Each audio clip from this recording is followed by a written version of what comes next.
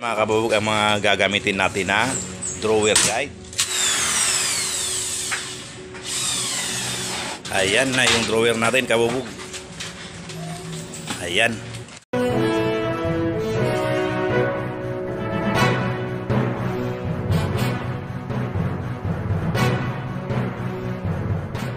Magandang araw na naman sa inyo lahat mga kabubog, sa mga viewers ko, sa mga subscriber ko, sa mga taong patuloy na sumusuporta sa aking video, sa mga OFW natin dyan, saan man sulok ng mundo. Sana po ay okay lang kayo. Ayan, for today's video pala mga kabubog, ang ipapakita ko sa inyo ay kung paano i-set up ang drawer guide sa ating aluminum cabinet. Ayan mga kabubog, sana magsama-sama tayo hanggang sa dulo ng video ito. Ayan mga kabubog, simulan na natin! Mga kabubog, ang mga gagamitin natin na drawer guide. Ayan. Ayan, maganda yan kabubog. Ayan. Pasensya na kabubog, di makakawak ng mabuti kasi ang sakit nung na-disgrasya kahapon. Ayan kabubog ang gagamitin. At ang magsisit up si kabubog kinit. Ayan. Ito kasi mga kabubog yung projecto ni Engineer Randy sa Imco Subdivision sa ilalim ng lababo. Dito pinto lang siya. Diyan tatlong drawer. At dito mayroon silang ilalagay dito na yung lutuan. Yan mga kabubog drawer na yan na sit up na. Yan. Papakita ko sa inyo dito sa kabila. Ayan. Ayan. Unang step mga kabubog. Kailangan ilagay nyo yung drawer guide.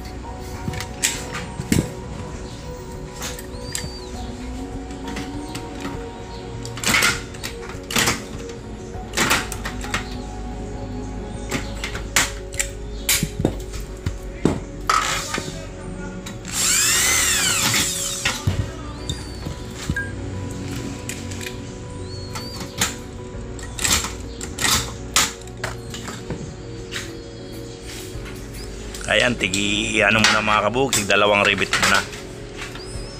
Para kung sakaling kailangan pang i-adjust, pwede pa natin.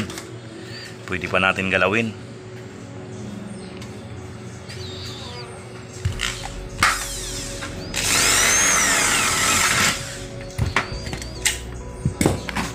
Mababa yata ni. Mababa ni ta. Dapat nakapantay sa 1 by 1. Hmm, diba? Hmm. Layo ah.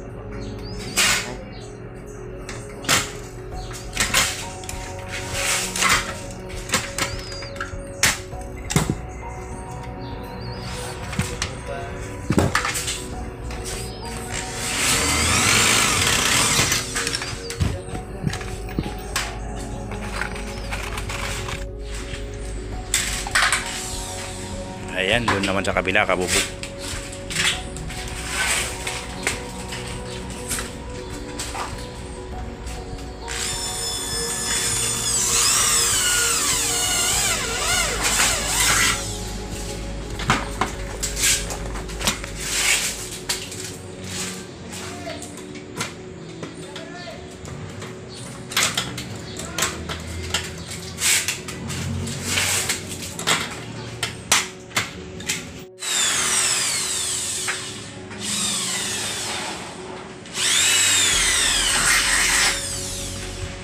Ayan mga kabubog, nakalagay na. Yan, nakalagay na yung drawer guide natin. At pati dito sa kabila. Ayan. Nakalagay na. Ang sukat pala ng drawer guide na binili ko mga kabubog yan. 18 inches ang haba. Saka standard. Saka kasi itong magandang klase itong drawer guide kabubog. Oh. Napakalambot. Hindi katulad nung ordinary na drawer guide. Ito maganda talaga to ganyan. Ngayon, ang next step natin kabubog, ikakabit na natin yung pinaka-drawer niya. Ayan. Ayan, ito pala yung pinaka-drawer niya mga kabubog. Ayan, nagawa na tatlo siya. Isa, dalawa, tatlo yan, tatlo siya. Ngayon, ikukunik na natin doon sa drawer guide natin para makita na natin kung sakto. Ayan mga kabubog, panoorin nyo. Mga kabubog, kinakailangan yung drawer guide mo nasa ibabaw. Itong pinakalabi nito, nasa ibabaw ang drawer guide. Kaya kung maglalagay kayo ng pagkakabitan dito, kailangan nakaibabaw ka dito. Dito ka naka, ano dito. Makikita nyo dito sa kabila kabubog. Ayan.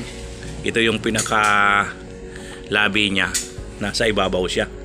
Diyan tayo, diyan ang pagkakabitan ng drawer guide. Ganon din dito mga kabubog. Kung hanggang saan yung pinakapinto mo ng unang drawer natin, kinakailangan yung paglalagayan mo. Nakaangat. Ayan, panoorin nyo na lang mga kabubog. Ayan na yung drawer natin kabubog. Ayan.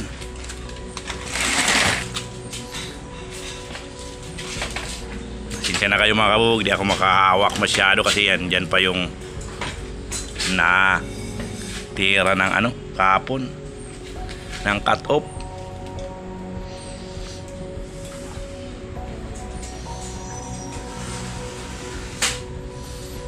Ayan, sinisit up ni Kabubog Kinit.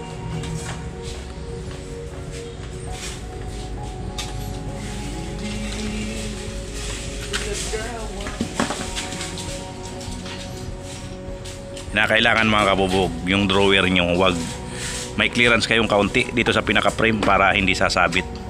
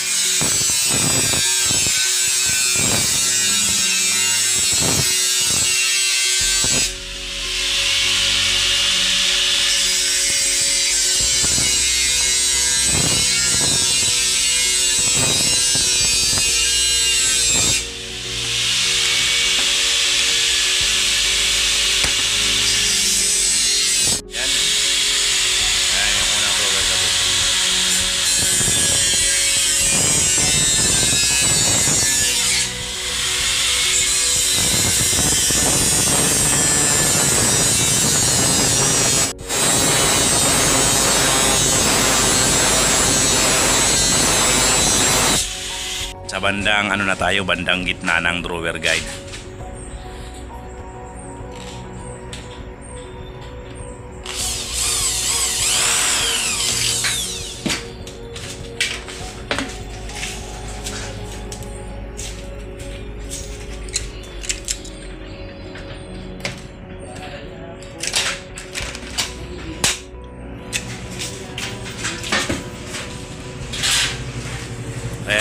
Kabubog, kung nakikita nyo tong ano na to, nakagitna lang siya.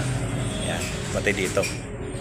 Kasi kung kailangan na i-adjust natin, pwede pa natin yan i-adjust. Pwedeng iangat, pwedeng ibaba. Kasi kinakailangan banda dito mga kabubog, hindi sasabit tong pinakaano na to. Pinaka-frame may clearance kang kaunting-kaunti lang dyan. Kaya doon sa kabila kabubog. Ayan. Nakakita nyo may clearance kaunting-kaunti. Yan ganyan dapat.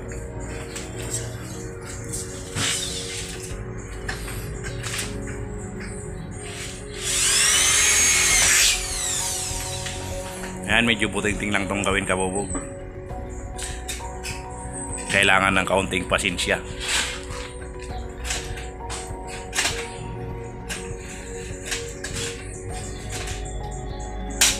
Sinasabi ko sa inyo mga kabubog. Ito na yung ibabaw ng pinto, kailangan nakaangat to. Para yung sunod na drawer natin, hindi siya, di sila mag-aabutan. Ayan, kaya kinakailangan yung pagkakabitan nyo. Ayan, nakaangat siya. Kaya kinakailangan itong pagkakabitan nyo to, medyo nakaangat rin. Nakaangat rin sa ibabaw nito. Para hindi sasabit. Ayan. Nakabit na yung unang drawer, kabubog. Doon na tayo sa sunod na drawer.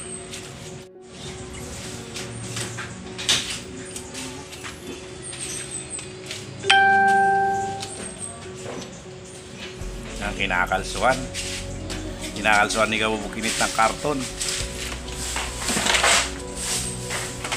Shout out pala dyan yung mga wala pang kabalintina.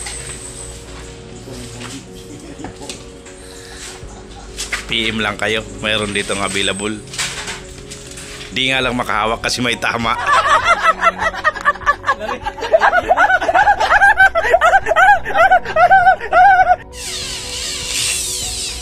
Pagpasisihan nyo na lang.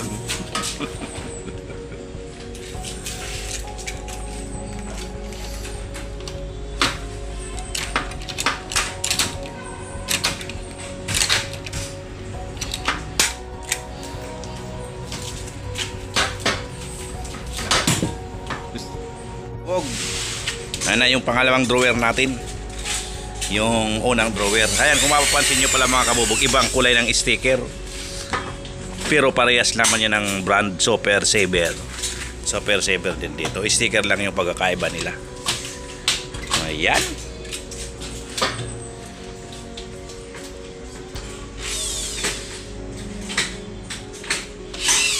Ito palang drawer na ito mga kabubog. Mayroon pa yan sa hig. Kaso nga wala pa. Mamaya pa ikakabit. Frame pa lang.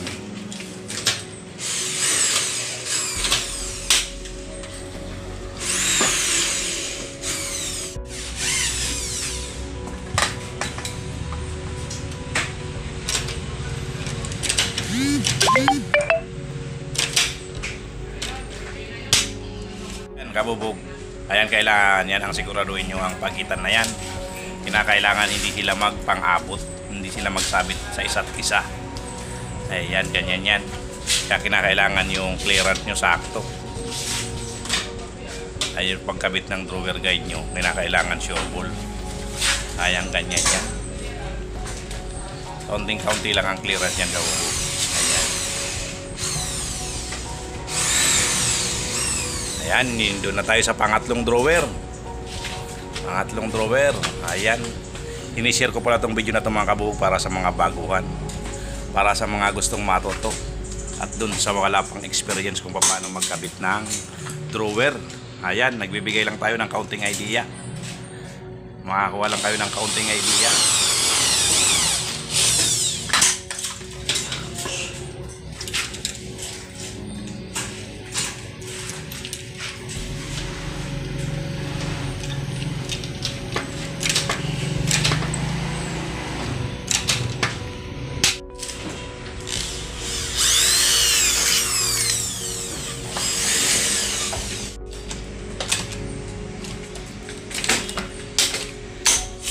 Ayan, dito tayo sa bandang loob.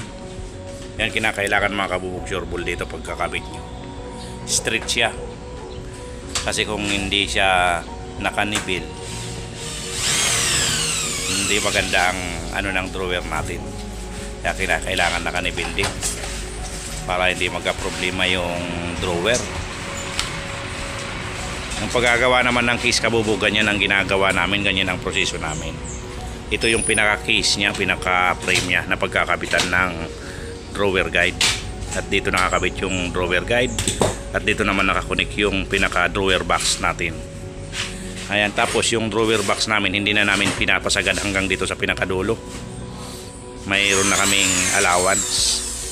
Pero itong pinaka-frame natin, drawer frame, sagad yan doon sa pinaka pinaka-wall ng lababo. Kasi ito sa ilalim to ng lababo kabubog. Yan ang importante lang naman dyan mga kabubog yung mga pagkakabitan ng drawer guide. Kinakailangan marunong kayo. Alam nyo kung paano ikabit. Saan nyo banda ikakabit. Kasi kinakailangan hindi sila magpangabot. Yan lang naman ang importante dyan mga kabubog. Dito tayo sa bandang harap. Ayan mga kabubog kung makikita nyo. Nakasit up na siya kaunting adjust na lang makukuha na yung tama. Ayan kung makikita nyo yung clearance ganyan. Yan kinakailangan makuha nyo yung clearance niya na kaunting kaunti lang. At saka dito kung ano yung dito kinakailangan diretso siya. Hindi siya naka, nakalulupasok to kasi pangit naman tingnan. Kinakailangan diretso. Kaya yung adjustment dapat diretso. At ganoon din dito sa bandang kabila. Ganyan. Kinakailangan diretso rin yan para maganda. At kung yung clearance nyo naman dito, kinakailangan pagdating dito sa pinto dito, kasi ito pin- pinto na to kabubog, pabukas lang. Kinakailangan pantay rin para magandang tingnan. Ayan, ganyan lang yan mga kabubog. Yung pinaka-opening nito, kung tatlong drawer, i-divide into three mo. Yun ang gagawin mong sukat ng pinto. Pero pagdating dun sa box, wag mo nang isagad dito, ibaba mo na ng kaunti para sigurado kang hindi sasabit dito. Kasi kung isi-zero-zero mo baka sakali sumabit pa dyan. Kaya kung ito yung pinakapinto, ibaba mo na ng mga ganyan. Hindi naman kailangan malalim na malalim yung drawer natin. Tapos ganun din dito sa sunod. Ayan, pag sina, binukyan mo yan mga kabubog, saktong-sakto yan. Ayan, ganyan. Ganyan lang yan kabubog. Tapos yung importante yung ito, itong pagkakabitan na to. Kinakailangan nga yung sabi ko kanina, yung taas ng pinto na to, kinakailangan mas mataas pa yung pagkakabitan. Para kung pagkabit nyo ng sunod na drawer, pag binukas nyo, hindi siya sasabit dyan. Yan ang importante mga kabubog sa drawer natin. Sa pag-aano ng drawer. Pag ah, kakabit ng drawer. Ayan, ganyan ang ano natin. Yan na ang pinaka ano natin. Pinaka drawer. Ayan. At dito sa kabila, mayroon din drawer kabubog. Ayan kung nakikita nyo. Tatlo rin yan. Tatlo rin yan. Ngayon, sa bandang sunod niya kabubog, yun na. Ano na yun? Pabukas na. Parang swing. Kaso ang gamit namin na hinges yan is canceled hinges. Ayan ang ano namin. Dalawang pinto naman dun sa katabi niya mga kabubog. Dito tatlong drawer at dito mayroon silang ilalagay yung lutuan na bibilhin nila. Kaya ito, lalagyan pa namin to ng sahig kasi nakapatong dyan. At dito, so, drawer din na tatlo. Ayan, ganyan lang kabubog. Ngayon pala mga kabubog, ang sasabihin ko sa inyo yung ano, yung paggawa ng box. Yan, nakikita nyo. Kung nakikita nyo, ito yung pinaka-opening natin hanggang doon. Pag galing sa pinaka-opening, maglilis, ano kayo, list 1 inches. Kaya kung ano ang opening, example 20 inches yung opening, ang gagawin yung box is 19 inches lang. Kasi yung list natin na yun, media dito sa kabila, media media rin dito sa bandang kabila. Yung media na yun mga kabubog, ito yun. Sukat yun ng drawer guide natin. Inayan ang ano, media. One half inch, half inch ang sukat niyan mga kabubog yan. Yun ang ililis mo. Doon din sa kabila, ganun din. Mayroon din tayong drawer guide kaya maglilis din tayong half inches. Kaya ang total list natin ng box natin ano? List 1. Yun yun ang pinaka-clearance dito. Pero siguro kabubog depende sa ano, drawer guide na gagamitin ninyo. Kung ganitong drawer guide, yun ang list. Pero kung ibang klase sigurong drawer guide, iba siguro yung list. Kaso kami, yan ang ginagamit namin. Ganyan talaga kaming drawer guide na ganyan ang ginagamit namin kasi napaka-smooth lang siyang buksan. Wala siyang problema. Napaka-smooth. Kaya yun ang palagi talaga namin na ginagamit. Ganyan na drawer guide. Yan. Ganyan lang mga kabubog kasimple. So ayan mga kabubog, hanggang doon na lang muna ang aking video. Ayan, sa mga viewers ko pala, sa mga subscriber ko, sa mga taong patuloy na sumusuporta sa aking video, sa mga OFW natin dyan. Sana po ay palagi kayong mag-iingat. At kay Idol Kuya Noli Vlog pala mga kabubog, shout out sa inyo. Sa Boreas Vlogger at sa Team Yoyo, hindi ko na kayo isa-isahin. At kay Idol Japper Sniper, ayan, shout out sa iyo Idol. Sa lahat ng Bukana Vloggers, sa Seward Family, ayan, shout out sa inyong lahat. At kay Idol Thinking Body, ayan, shout out sa inyo. Ayan, mag-iingat kayo palagi. At happy advance, happy Valentine sa inyong lahat. Ayan mga kababog, hanggang dito na lang muna ang aking video. See you on my next video.